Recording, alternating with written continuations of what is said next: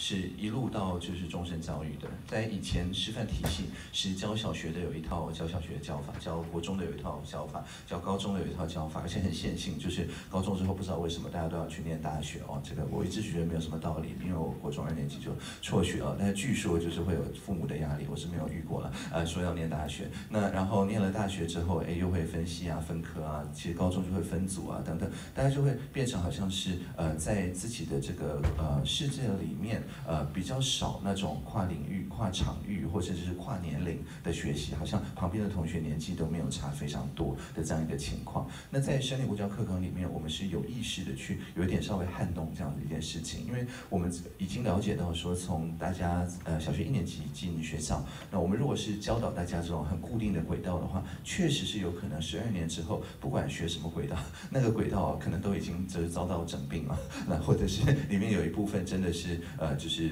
assistive technology 哦，是主要是看辅助科技哦，就是我们如果是教一些现场的操作的话，说不定到十二年之后，其实主要你是在教 AI 怎么样去做这些操作，所以还是有这样子的工作没有错。好比像说不会因为说呃 computer 这个字本来是讲人嘛，现在是讲机器，呃 printer 这个字本来也是讲人嘛，现在是讲机器，但不表示说就没有资料科学家或者就没有做出版事业的朋友们，只是说他们的工作里面，我们现在叫做 computer 跟 printer 的这一部分是交给机器做，但他们还是在做他们要做的这些事情。但是要怎么样子去确保说我们在学习的时候是往这个部分，就是它的 purpose 的部分呢去做，而不是去往这个部分，就是它的一些嗯就是 skill 或者这个 repetition 的这些部分去做呢？那就是要确保说我们在好比像说呃大考中心，或者是说在呃就是大学选学生啊等等的时候，是比较看重学习历程，是比较看重呃中间的 portfolio，就是你到底创作了什么，去结合不同的专长的人，真的做出了什么事情来。那以这个 purpose 为主，而不是以就是比较线性的这个分数啊等等为主。